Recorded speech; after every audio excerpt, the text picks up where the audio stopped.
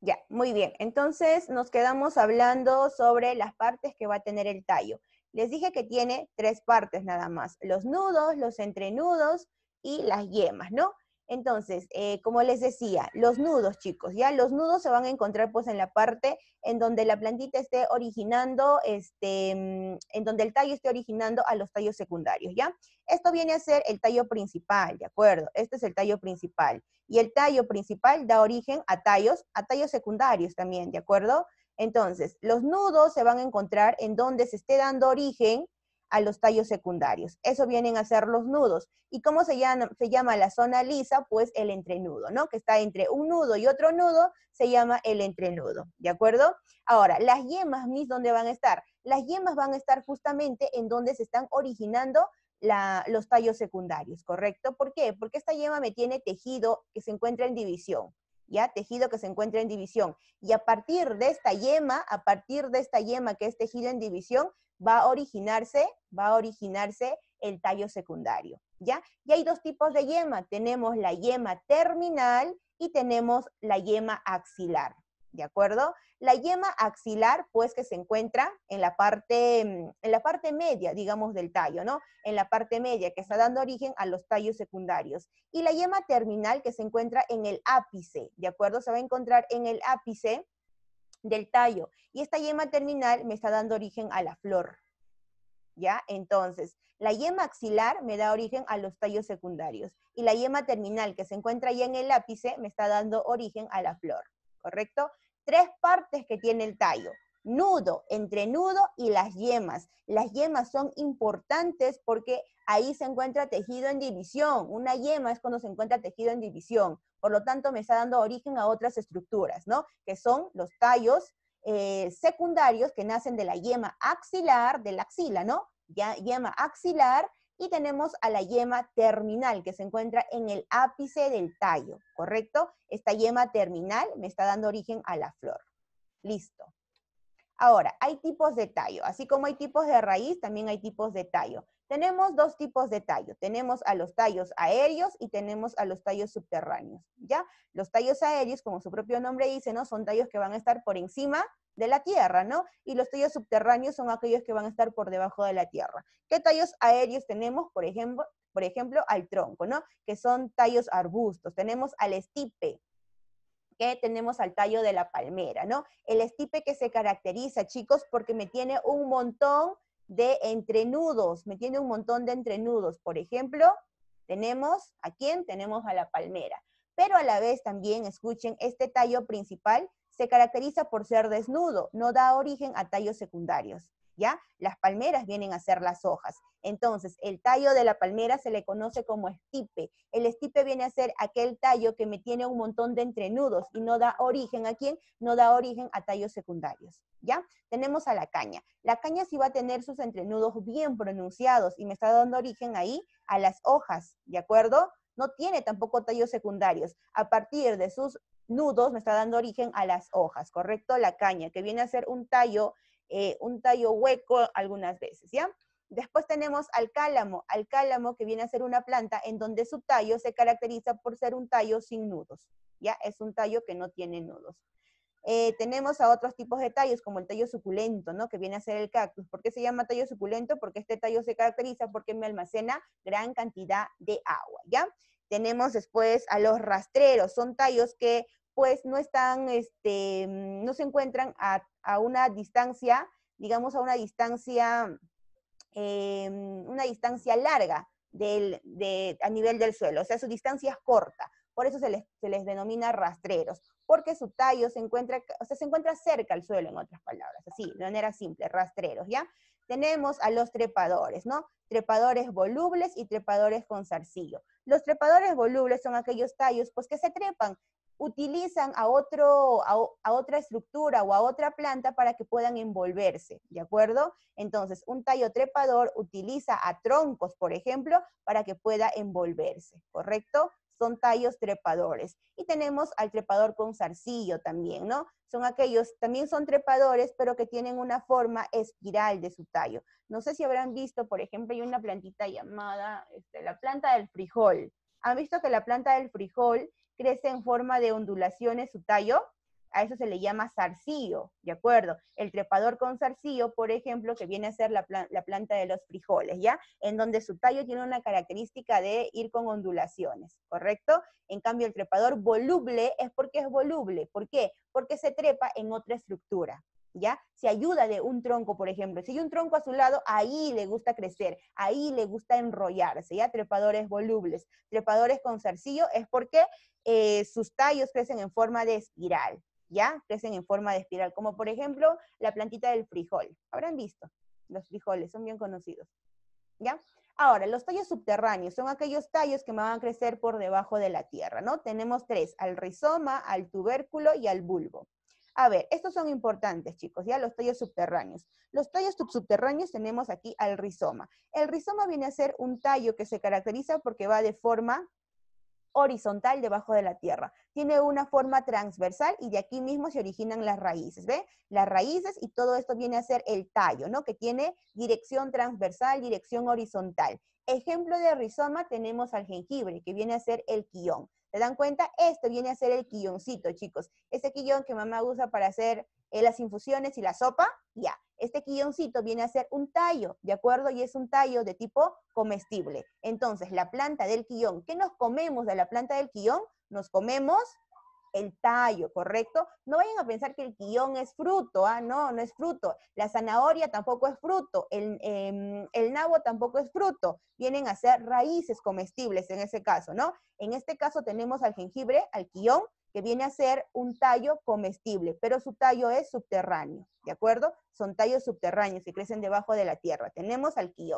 Después tenemos a los tallos tubérculos, ¿ya? Por ejemplo, tenemos a la planta de la papa. En caso de la planta de la papa, lo que se come en realidad viene a ser, ¿qué cosa? Viene a ser el tallo, ¿de acuerdo? Y este tallo se le conoce como tubérculo, ¿no? De ahí sus nombres. ¿Quiénes son tubérculos? Papa, camote, por ejemplo, ¿no? La papa y el camote, que son ejemplos de tubérculos, ¿de acuerdo? Entonces, ¿qué nos estamos comiendo de la planta, de la papa, de la planta del camote? Nos comemos los tallos, ¿ya? La, papa, el camote vienen a ser tallos comestibles, ¿ya? ¿Y cómo se llama su tallo? Se llama tubérculo, de ahí sus nombres, ¿de acuerdo? Tubérculo, ¿ya? Entonces, miren aquí, tenemos aquí eh, tenemos aquí a la papa, ¿no? Por ejemplo, que viene a ser un tubérculo, ¿ya? Es un, tallo subterráneo porque crece debajo de la tierra, ¿correcto? Pero es tallo, ¿ya? Es tallo. Y por último tenemos a los bulbos, chicos.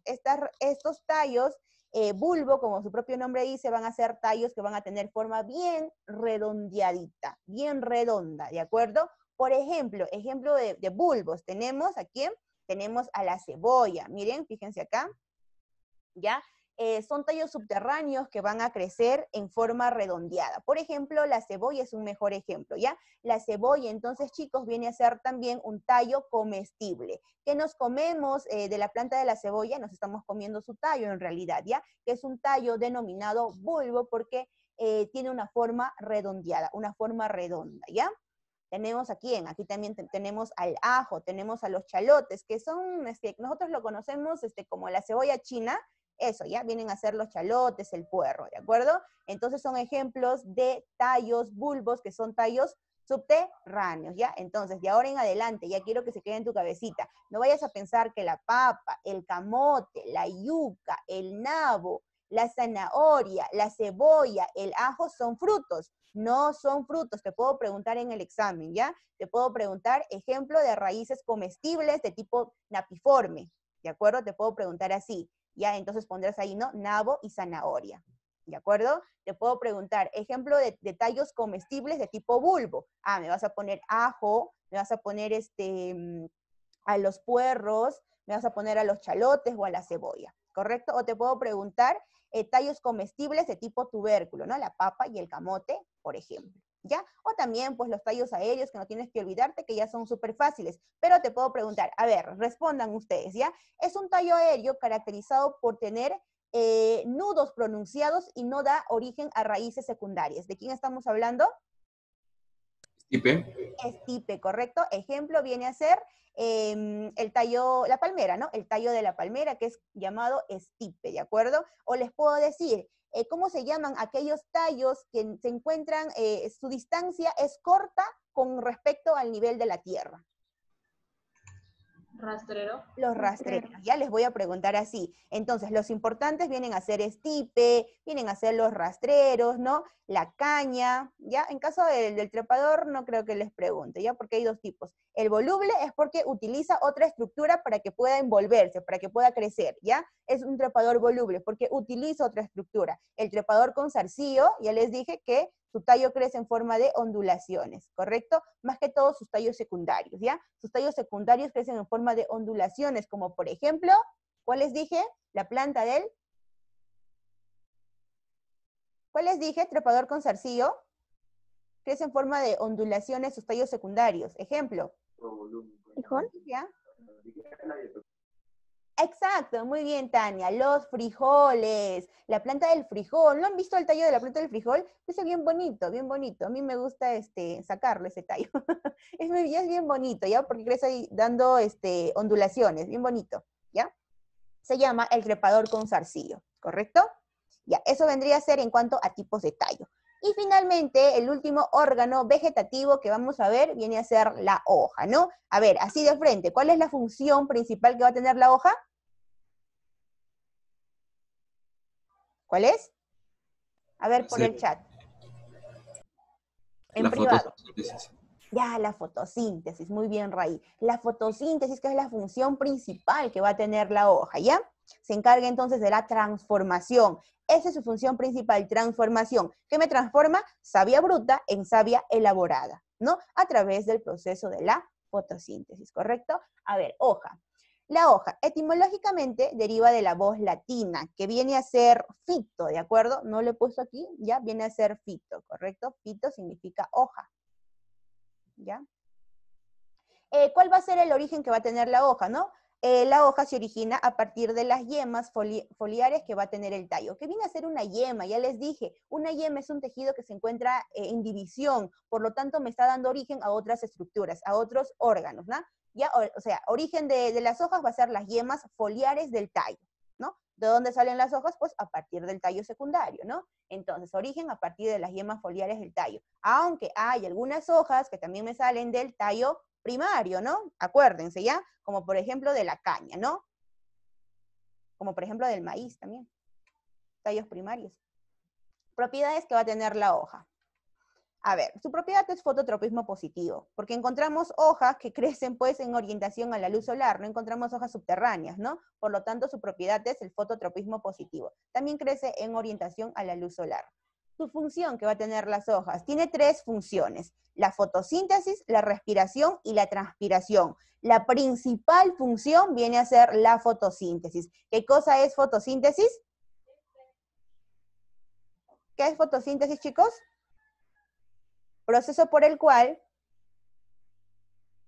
¿qué es fotosíntesis? A ver, a estas alturas me tienen que definir ya qué es fotosíntesis, ¿no?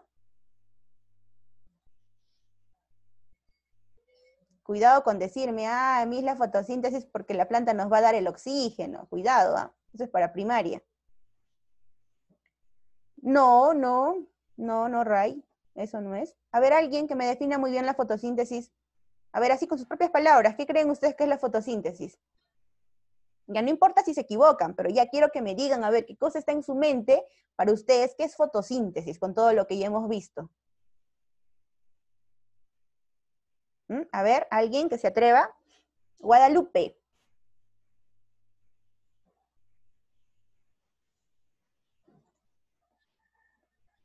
Ya, podría ser Tania, ya, sí está bien, pero tienes, tienes que explicarme bonito, pues, ¿qué es la fotosíntesis? Hace ratito lo acabo de decir, ¿qué es la fotosíntesis? A ver. Muy bien, Nicole. Eso es la fotosíntesis. Muy bien, Sidani, muy bien. Eso viene a ser fotosíntesis, pues. Tiene que quedarse ya muy bien. Este, claro, chicos, ¿ya? Fotosíntesis. A ver, alguien más ha respondido. Ya, ya ahora está mucho mejor, Tania. Ya, pero me ha gustado cómo ha respondido Nicole y Sidani. Muy bien. La fotosíntesis viene a ser el proceso por el cual se transforma savia bruta en savia elaborada. ¿Correcto? Cuando yo les diga qué es la fotosíntesis, la fotosíntesis, la fotosíntesis viene a ser el proceso por el cual la savia bruta se transforma en savia elaborada, ¿de acuerdo? ¿Para qué es importante la fotosíntesis? Ah, pues no, para formar, ¿qué cosa? Los nutrientes de la planta, para que la planta pueda alimentarse, ¿de acuerdo? Si les pregunto, ¿cuál es la ecuación la fórmula de la fotosíntesis. Ah, otra cosa, no fórmula. CO2 más agua, en esta reacción interviene la luz solar y esto me va a dar origen a la glucosa más el oxígeno. Les puedo decir cuál es este, qué, se excreta o qué se produce em, en la fotosíntesis. Algo que no le sirve a la planta, ah, el oxígeno viene a ser la molécula que no le sirve, que lo excreta al medio ambiente, ¿ya? Fotosíntesis, entonces, ya, no, no quiero que estén diciendo, ay, es un proceso importante porque nos da, nos da oxígeno, no, es para primaria, chicos, ya, fotosíntesis, proceso por el cual la savia bruta se transforma en savia elaborada, ya, esta savia elaborada que vienen a ser los nutrientes por el cual se van a alimentar las plantas, ya, nada más. Entonces, como les decía, la función principal que va a tener la hoja viene a ser la fotosíntesis, ¿ya? Otra función que va a tener es respiración. ¿Por qué respiración? Ah, porque las hojas, las plantas que respiran, las plantas que respiran a través de las hojas, a ver, ¿qué respiran las plantas? ¿Cuál es el gas que respiran las plantas? ¿Mm? CO2. Muy bien. Uy, aquí está, aquí está mal. Me lo han tipiado mal. La planta toma del medio ambiente CO2 y elimina O2 molecular. ¿Ya? Entonces, a ver, muy bien, CO2. Y eso no tienen que tenerlo duda, ¿ya? ¿Ok? Si ustedes ven en la diapositiva que está mal, no se dejen guiar. Pues yo también les puedo, les puedo estar mintiendo, pero ustedes ya saben, ¿no? Ya saben. Y a ver, muy bien, raíz CO2, ¿ya?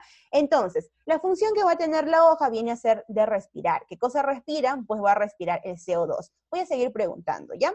El CO2, ¿por dónde es captado? ¿Por el as o por el en vez? ¿Y por qué estructura? ¿Ya? A ver, me responden. ¿Por qué parte se capta el CO2 y cómo se llama esa estructura? Ya, ¿cómo se llama esa estructura? Yo ya les dije la clase pasada y eso fijo viene en el examen. ¿Cómo se llama la estructura por donde ingresa el CO2 a nivel, a nivel de la hoja? Muy bien, Nicole, no me pongas este, eh, no me pongas, no me gusta cuando me ponen signo de interrogación, ya les dije. Muy bien, no, está mal Guadalupe. La única que me ha respondido bien hasta ahorita es Nicole. ¿Por dónde? ¿Por dónde? La planta. Ya, por la hoja está bien que capta el CO2, porque, pero, pero, pero ¿por qué parte de la hoja? ¿Por qué parte? ¿Por as o por en vez? ¿Y cómo se llama esa estructura? ¿Nadie? La única que ha respondido bien es Nicole. Ya, muy bien, Mark. Ah, ya te has corregido, Raí. Ya, está bien, Raí también. Entonces, ya otra vez voy a volver a repetir, chicos. La hoja tiene dos caras. Ya tiene el as y tiene el en vez. El as de la hoja que viene pues a ser la parte lisa, la parte brillosa, ¿no? La parte que tiene una textura lisita, brilla. En cambio, eh, el en vez viene a ser la parte opaca, la parte sin brilla que tiene la hoja, por donde resaltan las nervaduras de la hoja. ¿Correcto? Eso viene a ser el en. ¿Por dónde les dije que la planta me captaba el CO2? Por el en de la hoja, por la parte opaca, por el en ¿de acuerdo? ¿Y cómo se llama esa estructura? Se llama estoma.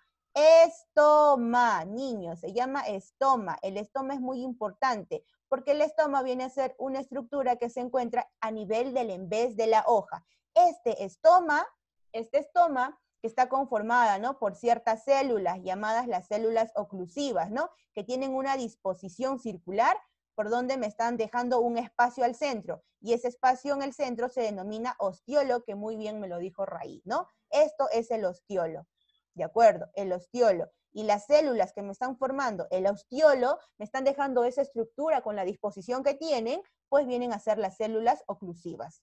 ¿Correcto? Las células oclusivas. ¿Cómo se llama toda esta estructura? Se llama estoma. Todo esto se llama estoma. ¿Dónde se encuentra el estoma? Se encuentra a nivel del en vez, en vez de la hoja, la parte opaca, la parte, em, la parte áspera, digamos así, donde se encuentra resaltado la nervadura de la hoja. ¿Ya? No se olviden, por favor, chicos, básico. Ya, entonces, otra función pues que va a tener la hoja es la respiración, porque gracias a la hoja, ¿no? Ingresa, ¿qué cosa? Ingresa el CO2 a través de los estomas que se encuentra en el en vez de la hoja. Ahora, otra función importante también es la transpiración. La transpiración es el proceso por el cual la planta pierde agua. Va a perder agua también la planta, ¿ya? Entonces, escuchen, eh, la plantita cuando me absorbe esa savia bruta, o sea, agua a través de la raíz, pues toda esa agua que ha absorbido eh, no lo llega a utilizar hay cierta agua, pues que lo va a desechar, lo va a eliminar. Así como nosotros, ¿no? Tomamos cierta cantidad de agua y toda esa agua no es, eh, no es utilizado por el cuerpo. ¿Y cómo lo eliminamos? Pues a través del sudor y a través de la orina, ¿cierto? En este caso tú sabes que las plantas no orinan, pues, ¿no? Pero sí transpiran, ¿de acuerdo? Así como nosotros transpiramos, botamos un sudor y botamos agua con sales, pues también las plantas van a transpirar. ¿Y qué cosa van a transpirar? Van a transpirar agua. Y el agua lo pueden eliminar en dos formas, bien en forma líquida, o bien lo pueden eliminar en forma gaseosa. ¿De acuerdo? Entonces, eh, ¿por dónde van a eliminar, este, por dónde van a eliminar las plantas ese agüita? Por la hoja, pues, ¿no? Pues lo van a eliminar a través de la hoja. ¿Por dónde exactamente? Por el embés. ¿Por qué estructura? Por el estoma. ¿De acuerdo? Entonces, el estoma, el estoma que se encuentra a nivel del embés de la hoja, estoy dibujando el estoma, ¿ya? Estas son las células oclusivas y esto es el ostiolo. Por aquí me ingresa, ¿qué cosa? Me ingresa CO2, ¿correcto? ¿Qué cosa me sale por aquí? Se sale el oxígeno al medio ambiente. Pero también, ¿qué cosa va a salir? Va a salir agua, ¿correcto? Agua, H2O. Pero este agua puede salir en estado líquido o puede salir agua en estado gaseoso. ¿De acuerdo?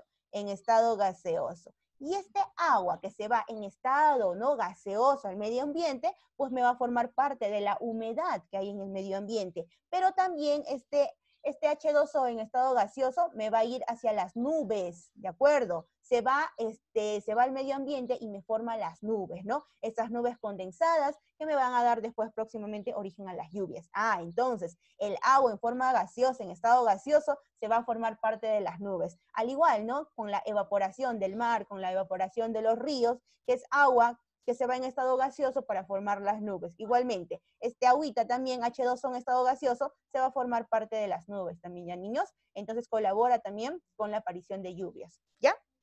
Entonces, ¿qué cosa es transpiración? Pues viene a ser la pérdida de agua que va a tener la planta a nivel de las hojas. ¿Por dónde pierde agua? Por los estomas también. Por los estomas me pierde agua en estado líquido y en estado gaseoso también, ¿ya? Entonces, fotosíntesis, respiración y transpiración, ¿correcto? Función más importante, fotosíntesis, de hecho, ¿no? Ahora vamos a ver las partes que va a tener nuestra hojita. A ver, todos nos fijamos aquí en esta imagen, ¿ya? A ver, chicos, todo comienza, ¿por dónde? Todo comienza por el peciolo, ¿de acuerdo? Aquí pues se encuentra qué cosa, aquí se va a encontrar el tallo bien secundario o bien puede ser un tallo principal, ¿ya? Aquí. Bien un tallo, un tallo secundario o un tallo principal, ¿no? Este tallo, chicos, este tallo va a unirse al peciolo a través de una vaina, ¿correcto? Aquí está la vaina. La vaina me une al peciolo, ¿con quién? Al peciolo con el tallo. El peciolo viene a ser una continuación, prácticamente viene a ser una continuación del tallo. El peciolo viene a ser una continuación del tallo. Y este peciolo es considerado como el tallo de la hoja, el peciolo es considerado como el tallo de la hoja. ¿Por qué? Porque el peciolo es una continuación de quién? Del tallo, ya sea un tallo secundario o ya sea un tallo principal. ¿Correcto? Ahora, este peciolo después va a empezar a ensancharse, digamos así, va a empezar a ensancharse para ya formar netamente, propiamente dicha, a la hoja, ¿de acuerdo? Esta hoja, esta hoja se caracteriza por tener una base y tiene un ápice, porque termina en punta, ¿de acuerdo? La hoja tiene una base y termina en un ápice, ¿correcto? De esta base va a empezar a ensancharse, ¿no? Por el cual se le conoce como los bordes, ¿ya? Estos bordes pueden ser, pues, diferentes también según la especie de planta que sea. Pueden tener borde en forma de dentadura, pueden tener borde en forma de trébol, pueden tener borde en forma festoneada, ¿de acuerdo? Pueden tener este mm, borde en forma de serrucho, ¿no? Eso va a depender de la especie, pues, de planta que sea, ¿no? Para que tenga sus bordes respectivos también, ¿correcto? Entonces, tenemos aquí a los bordes, ¿no? Entonces, los bordes que me conectan la base con el ápice, ¿de acuerdo? Base y termina en punta, termina en un ápice. ¿Cómo se llama todo esto? ¿Cómo se llama el cuerpo de la hoja? El cuerpo de la hoja se llama limbo, ¿correcto? El cuerpo de la hoja se llama limbo. Entonces, aquí han puesto solamente tres partes. Ya han puesto la vaina, que es la porción que conecta peciolo con el tallo, ¿no? Vaina. Limbo, que viene a ser el cuerpo, pues, de la hoja, ¿no? El cuerpo de la hoja. Y el limbo, hay dos, ¿no? Hay dos caras, el as y el en ¿de acuerdo? Y tenemos al peciolo, ¿ya?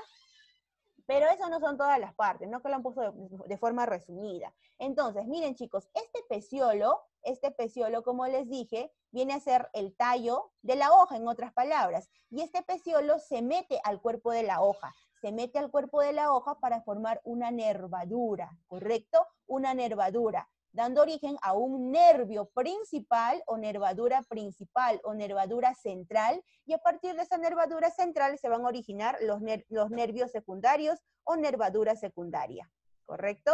A partir del nervio principal salen los nervios secundarios o nervadura secundaria. Esta nervadura que tiene la hoja, que es originada por el peciolo, porque el peciolo se mete al limbo, al cuerpo de la hoja, es más notable, es más pronunciada a nivel del en vez de la hoja. ¿De acuerdo? No en la parte lisa. En la parte lisa se pueden ver las proyecciones, pero donde es notable, pronunciado, se puede palpar a nivel del en vez, por donde se encuentra el estoma y por donde la planta respira y transpira. ¿Correcto? Entonces, ahí tenemos al peciolo. Si les, yo les puedo preguntar, ¿cuál es el tallo? Escuchen, ¿cuál es el tallo de la hoja? ¿Cómo se llama el tallo de la hoja? Contesten, tallo de la hoja. El peciolo. Peciolo, correcto, Tania, ¿no? Tallo de la hoja viene a ser el peciolo. ¿Cuál viene a ser la estructura que me conecta a la hoja con el tallo, con el tallo secundario o con un tallo principal? Estructura que me conecta a la hoja con el tallo secundario, con el tallo principal. La vaina, correcto, la vaina, ¿no? Eh, ¿De dónde se origina la nervadura de la hoja?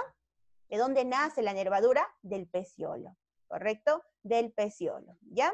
¿Cómo se llama el cuerpo que va a tener la hoja? Limbo, el limbo. Y puede ser de dos caras, as y en vez, ¿correcto? As y en vez, ¿ya? Muy bien. Acá tenemos la estructura interna, ya para volverles a hacer recordar nada más, ¿no? La estructura interna, chicos, hacemos un corte y lo llevamos al microscopio, ¿no? Lo llevamos al microscopio. Aquí tendremos la epidermis, ¿no? Que está la epidermis del as. Y también aquí habrá una epidermis del embés, no se olviden, ¿ya? La epidermis o el as que está cubierta por la cutícula, acuérdense, por la cutícula. Y es por aquí por donde se capta la luz solar. La luz solar se capta por el as pero por donde respira por el embés, ¿de acuerdo? en el embés, ¿qué vamos a encontrar? Vamos a encontrar los estomas. Y en la mitad de la hoja, ¿qué vamos a encontrar? Vamos a encontrar al mesófilo, ¿de acuerdo? En el mesófilo, pues que se encuentran quiénes? Las células, ¿no? Que se encuentran las células, las células hexagonales, ¿se acuerdan, no? Las células redondeadas que tienen sus cloroplastos, ¿no? Los cloroplastos que incluyen a las clorofilas para que se lleve a cabo el proceso de la fotosíntesis, ¿ya? Entonces, no se olviden, ¿ya? Epidermis, que es la parte protectora, ¿no? Tejido protector. Mesófilo, que está en el medio, en donde se lleva a cabo la fotosíntesis, que tiene un tejido fundamental, ¿no? Que era el tejido, este, el parénquima clorofiliano, ¿se acuerdan, no? Esto es mesófilo, mesófilo. Tiene el parénquima clorofiliano porque ahí se encuentran células que tienen sus cloroplastos con su clorofila, ¿ya? Y tenemos aquí también a la, a la epidermis del embés, ¿no? En donde encontramos al estoma. Esto es embesa, esto es as, vez, y aquí en el vez encontramos al estómago por donde está ingresando, ¿qué cosa? Por donde está ingresando el CO2, ¿ya? Aquí está la estructura. ¿No? Y el xilema y el floema, pues que están en el mesófilo, ¿no? Porque en el mesófilo tienen que llegar tanto agua y de ahí va a salir también, ¿qué cosa? Los nutrientes, ¿no? Para que sean conducidos por el floema. ¿Ya? Eso ya lo hemos visto en la clase pasada, solamente para hacerles recordar. Y con eso estaríamos culminando la clase del día de hoy y gracias por tu atención.